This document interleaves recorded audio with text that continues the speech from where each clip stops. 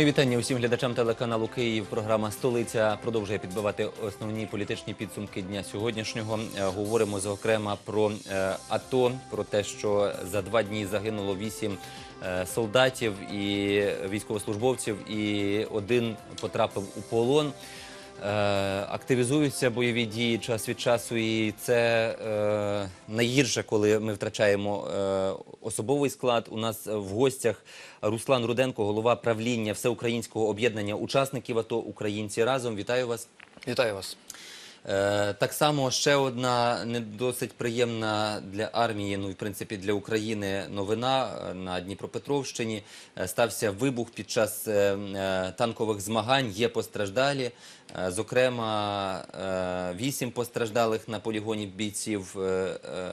Ну от наскільки Україна з часу проведення АТО, з часу, скажімо так, нападу на нас Росії покращила справу із захистом особового складу. Адже ми знаємо, що у розвинених арміях е, на першому місці е, стоїть збереження особового складу. Про це говорили ще е, під час миротворчих операцій про е, американську армію, про те, що там в офіцера стоїть завдання будь-якою ціною зберегти е, власних солдатів для того, щоб продовжувати завдання е, і для того, щоб е, не відписуватися від і не, пояснювати матерям вдома, чому не вберегли. Адже в цього солдата було вкладено багато ресурсів моральних, фінансових, його готували відповідним чином. Е, Чим неможливо е, було похвалитися Україні на початку, коли ми почали захищатися від е, бойовиків. Як змінилася ситуація зараз? І яким чином оці от статистику страшну її можна зупинити? Насправді в Україні немає ніякого АТО, йде війна, і це потрібно і говорити і прямим чином, тому що підміна понять вона завжди виникає колізія, і тому як і в правовому полі зараз виникає величезна кількість проблем тих самих учасників бойових дій, які приходять вже з зони е, бойових дій. І е, дійсно, поки що е, статистика невтішна, тому що практично щодня гинуть наші побратими. І та логіка ще радянських часів, що краще зберегти танк, ніж роту солдат, вона, на превеликий жаль, жаль ще зберігається в головах тих генералів, е, які е, поки що е, про збереження особового складу на першому місці, як ми бачимо, воно не в тому форматі ефективне працює, як воно повинно бути як на захід, в західних країнах. От що стосується дійсно хлопців, які навіть перебуваючи там, коли вони бачать, що держава за них дбає і сім'я забезпечена, знаходиться е, на території Великої України, то дійсно е, тоді є і впевненість в тому, що е, 100% потрібно е, бути морально е, впевненим і е, на передовій. Але коли е, виникають величезні проблеми і тут, і коли сім'ї і дружини телефонують про те, що е, є, е, не вистачає е, забезпечення, ну, виникають проблеми із е, місцевими органами влади, що ігнорують в, де, в деяких випадках, а на сьогодні вже е, в деяких областях це набуває систематичного характеру. Тому е, тут, як кажуть, зло, воно завжди е, поряд криється. Його потрібно дійсно, там є ворог, і ми це розуміємо, що е, ворог е, перед очима, і е, ми знаємо, хто є ворогом. А тут, е, на території Великої України, ця бюрократична система, машина, яка вона нікуди не, ділася, не змінилася, вона далі продовжує вбивати е, людей як і морально, так і фізично. Тому що е, за останніми статистиками е, офіційно тільки більше 500 учасників бойових дій покінчили життя самогубством після проходження в зоні АТО. Що кажуть медики в зв'язку з цим, е, з чим викликаний такий суїцид серед е, учасників АТО? Колишніх. Так, я так розумію, що це ветерани в основному, ті, які вернулися додому. Так, ті, які повернулися, да, тому ветерани, і е, коли ми дивимося, що люди, побратими, які повертаються, це зовсім інші люди, які, які йшли в зону АТО. І тому е, насправді питання реабілітації не просто ті слова, які вже е, скрізь звучать по всім е, і телебаченню, і радіо, і е, зовнішнім е, носіям, але конкретики в е, діях е, з з боку навіть держави в повному обсязі ми не бачимо. І це є е, тою проблемою, яка на сьогодні е, виливається в ці штра- страш- страшні цифри. Ми зараз приймемо телефонний дзвінок. Алло, добрий вечір. Ви в ефірі. Е, Ставте своє запитання, говоріть, як вас звуть. Доброго вечора. Мене звуть Сергій. У мене ну власне таке бачення, що на сьогоднішній день ну власне війни як такої немає. Є бізнесманські там фокуси. Ну це справа така. Війна буде зафіксована тоді, коли будуть назрівати вибори. Ну і ввести військовий стан і відмінити всі вибори. Ну скільки бізнесменам захочеться. Чи на наскільки ви поділяєте мою думку? Дякую за відповідь. Дякую. Як кажуть, е, слушне питання, і воно е, дійсно має право на життя, тому що е, війна вона вигідна. Як не, не говорити, вона вигідна е, тим сторонам, на які, які заробляють на цьому величезні кошти. Народу, учасникам бойових дій, ті, які безпосередньо ризикують своїм життям, здоров'ям, вони всі не зацікавлені в тому, щоб продовжувалася ця війна. Насправді, е, для того, щоб вона е, швидко закінчилася, потрібно дійсно е, перекрити кордон окупованих територій, щоб туди не знову ж таки не йшла контрабанда, щоб туди дійсно не підживлювалась е, ця, ця, цей конфлікт, ця війна. Тому, якщо є політична воля керівників держави, то дійсно воно тоді і ефективно працює. Коли цієї політичної волі немає, а закон використовується як кому вигідно, тому ми маємо на сьогодні таку проблему, і це дійсно величезна біда на території нашої України, від якої страждає український народ. Е, Що зробити для того, щоб е, це припинилося? Е, У нас готується закон про деокупацію. Як до нього ставляться солдати, зокрема, чи там військовослужбовці, з якими ви спілкуєтеся? Є, що б ви хотіли побачити в ньому, якби такий документ був? Або зміну якогось статусу з АТО на інший, або я не знаю ще що. Якесь спеціальне, можливо, правило або умову для військовослужбовців, яких не було ще поки що, а ви хотіли б. Ну, якщо е, вже ці закони вони е, мусоляться вже скільки часу, да? а насправді е, це все робиться е, Ну, про деокупацію говорять, здається, тільки місяць десь. Ну, знову ж таки, створювали одні закони, які не діяли. Да? Зараз створюють для того, щоб відволікти від реально серйозних проблем і питань, які існують в державі. Які проблеми, серйозні питання, на вашу думку, тоді? Ну, на сьогодні є реальне забезпечення е, сімей учасників АТО, є е, забезпечення і та сама е, підтримка, реабілітація учасників бойових дій. За рахунок кого це відбувається, в якій кількості тоді цікаво? Ну, от якщо брати на сьогодні, ми, як Всеукраїнське об'єднання учасників АТО Українці разом, наше об'єднання було засновано з початку війни. І представники і Національної гвардії, це батальйон імені генерала Кульчицького, і Збройних сил України, волонтерських організацій. Тож ми вже на той момент розуміли, що крім нас самих нам ніхто не допоможе, і ми сформували всеукраїнське об'єднання. З наших побратимів практично в кожній області України є наші представники. І е, крім е, програм соціально-правового захисту, як соціальна картка учасника АТО Українці разом вже отримали її е, вже 85 тисяч практично учасників бойових дій е, різних силових структур, які приймали безпосередню участь. Також у нас є програма психологічної фізкультурно-спортивної реабілітації. І це не просто слова, це на сьогодні вже е, практично третій рік поспіль е, проходить Всеукраїнська футбольна ліга учасників АТО.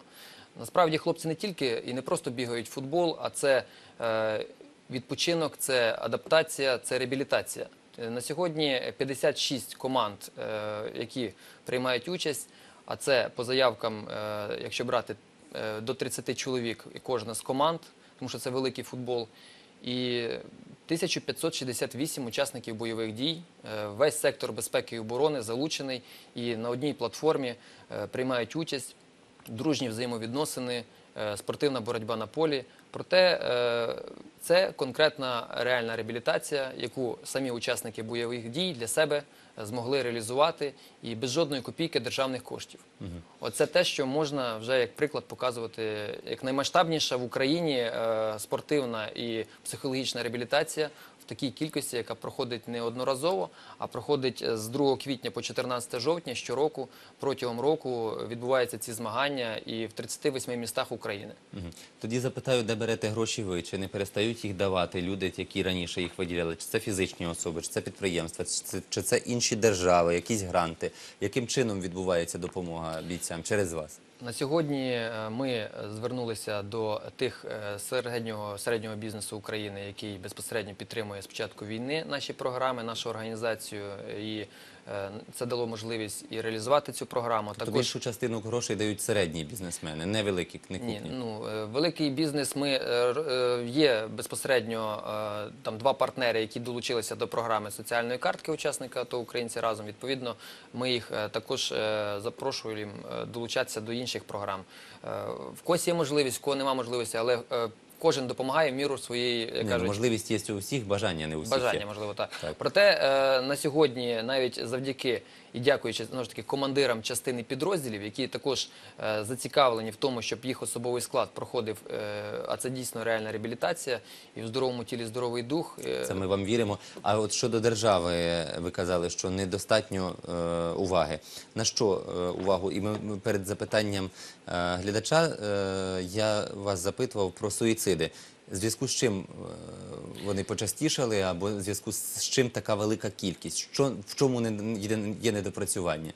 Чи це не, не, не, невідворотний факт? Що кажуть психологи? Ні, ні, це не це питання в тому, що людьми, е, побратимами, не займаються безпосередньо ті е, е, спеціалісти кваліфіковані, які повинні займатися після того, як людина прийшла з зони бойових дій. Повинна А бути відпрацьована має бути? програма. Тобто, якщо, наприклад, е, У вас же ж вона вже є, ця програма, я так розумію. в держави на- немає поки що. Ну, у нас е, в таких форматах, щоб забезпечити всіх учасників бойових дій, це ну, ж розуміємо. схема якась є, Да, існує, схема, так, якщо- як потрібно працювати із учасником АТО, щоб він не потрапив, е, скажімо так, в депресивний стан певний. Ну, ми знаєте, саме краще людина виходить з, депресивного стану, якщо вона знаходиться в оточенні своїх побратимів. Да? І тим більше, якщо ще і дружини, і діти знаходяться разом. Е, А як коли ти любиш е, вид, е, як кажуть, спорту, футбол, Я розумію, то це... але не у всіх же ж є можливість, повертається людина, а в нього робота, підприємство, дружина. А дружина каже, та куди ти поїдеш, на який футбол, що ти там будеш, видумуєш, треба он гроші заробляти і так далі. Рік тебе не було, вже все в хаті шариком покати. Ну, дивіться, ну якщо брати один із напрямків реабілітації, то це ми вибрали конкретно напрямок футбольної ліги, тому що це саме масовий вид спорту, і вже залучили більше півтори тисячі учасників бойових дій. Також у нас працюють е, три групи психологів, які не тільки працюють з учасниками бойових дій, а також з сім'ями. мені цікаво, як сім'ями. часто треба з цими психологами спілкуватися і, і, і, і, і на яких етапах? Якщо е, знаєте, учасники бойових дій не завжди самостійно звертаються до Звичайно. психологів, і це ми також повинні чітко Так. розуміти. Проте є дружини, є батьки, які безпосередньо спостерігають і бачать, що є потреба в тому, щоб е, Тобто не з усіма спілкуються. усіма, так. Це психолог має сказати, що тут треба, наприклад, провести е, ще кілька зустрічей, або сказати, що ні, нехай їде собі додому, і ми його не зачіпаємо. все на- буде добре. Насправді кваліфіковані психологи так і не скажуть, тому що вони е, все рівно е, Все рівно хочуть спостерігати Так, звичайно. І, спілкуватися. Якщо на сьогодні брати по чому я говорю сімейних психологів, тому що крім того, що потрібно працювати з учасниками бойових дій, потрібно працювати і з дружинами. Щоб сім'ями. вона не пиляла чоловіка. Звичайно, що і насправді е, людина вони не розуміють, що люди приходять інші вже з е, війни, і е, інколи просто достатньо е, кажуть е, людині зрозуміти і вибачити. І не завжди це виходить. Тому е, тут, е, як кажуть, психологи вже працюють із е, сім'ями. Тобто проблема в тому, що сім'ї не очікували побачити іншу людину в себе вдома. Якщо, наприклад, треба і- і- адаптуватися до звичайно, цього адаптуватись раз. Якщо е, держава залишила сім'ю сам на сам з е, тими самими економічними проблемами, е, які існують, і е, ну йде на деяких е, рівнях навіть спротив і е, не ну не допомога. Тоді тому- розкажіть, з якими проблемами найчастіше зустрічаються е, учасники АТО, які до вас потім звертаються, щоб держава вас почує і зможе так само е, зробити роботу над помилками. Е, Учасники бойових дій, які приходять, вони навіть е, не знають своїх прав, е, на що вони мають, як кажуть, отримати від держави. Тому То роз'яснювальна політ виховання не було проведено відповідно. Ну, якщо ми бачимо по практиці, то дійсно ми намагаємося інформувати особовий склад і ветеранів через ветеранські організації, ті, які вже в Україні ми домовились про співпрацю. А насправді дієвих організацій ну, якщо брати відверто, то більше 700 організацій в Україні пов'язані з учасниками АТО. З них, е, зрозуміло, е, є значна кількість недієвих організацій, які створені по завідома, е, як кажуть, е, іншим Ну, причинам. Це зрозуміло, да. людям Але, просто да, так хотілося. Але і є ж частина організацій, яка не займається велика- там реабілітацією. Вони просто привозять певні речі, що потрібно. В них немає можливості там психологів наймати або ще що-небудь. Постачають продукцію, Ну. і далі вони не цікавляться долею, можливо, там того чи іншого солдата. Якщо не говорити не про організації, а все ж таки про самих людей, от е, які з якими ви працюєте, е, ви можете якось систематизувати їхні проблеми, е, основні, з якими ви маєте е, працювати, так з якими до вас звертаються. Ну, якщо брати безпосередньо, е, першочергово це є соціальне забезпечення, правове забезпечення. От, і якщо брати по реабілітації, то от якраз питання реабілітації, воно в трійку цих проблем входить. Тому що е, люди, люди, які е, звертаються, навіть сім'ї, самі, самі дружини, вони е, першочергово виявляють бажання, щоб е, самі спочатку підійти до психолога, поспілкуватися, а далі вже, як кажуть, е, через е, побратимів е, залучати е, учасника бойових дій, які потребують цієї допомоги. ця реабілітація, вона не завжди психологічна. Так, це буває, що починається з того, що е, людині просто потрібно отримати певне лікування. Е, Чи то якісь були контузії, чи то щось е, з руками, ногами і так далі, якісь поранення фізичні, так? Так. А після того вже е, робота психологічна.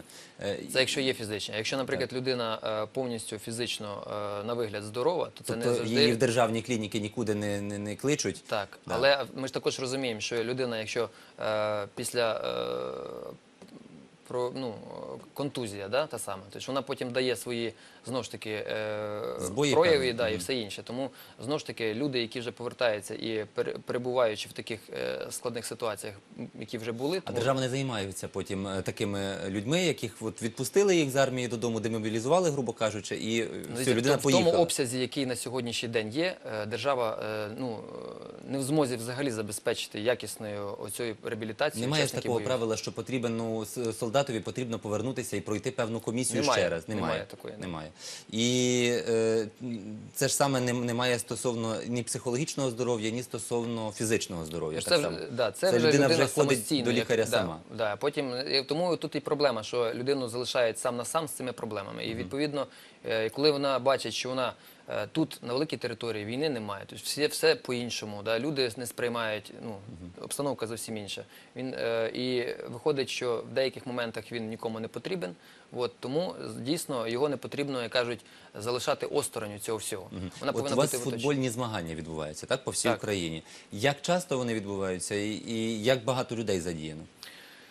От ми е, в 2015 році, як е, розпочали е, першим матчем і побачили, що дійсно це потреба у, у, і ветеранів в першу чергу, тому що формуються команди збірних ветеранів, які вже демобілізовані хлопці, то ми вже змогли реалізувати всеукраїнську футбольну лігу і по всій території України 38 міст задіяно, тобто 56 команд, як я вже повторяв. повторяв.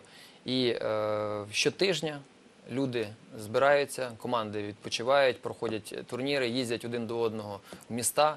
Тобто це вже повноцінне, як кажуть, дружнє налагодження дружніх відносин і повноцінна реабілітація.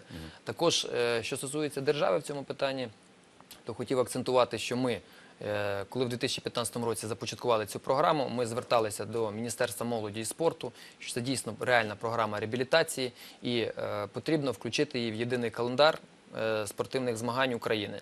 Проте нам е, знову ж таки на офіційний запит нам відмовили в тому, що е, Всеукраїнське об'єднання учасників АТО Українці разом не є спортивною організацією. Ну знову ж таки, е, для того, щоб просто відфутболити, як кажуть. Е, Ми, е, поспілкувавшись з побратимами, і прийняли рішення створити всеукраїнську спортивну ветеранську організацію Федерація футболу учасників АТО.